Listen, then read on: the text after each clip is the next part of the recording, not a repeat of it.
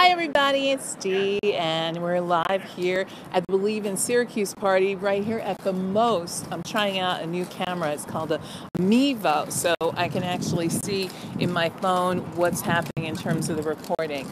And uh, people are starting to load in their stuff, as you can see behind me, and uh, it's a cold night to be loading in stuff.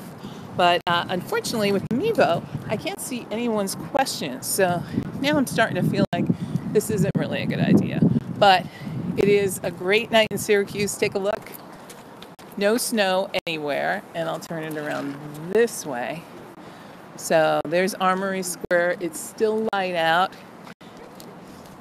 And we're getting ready for Believe in Syracuse right here at the most.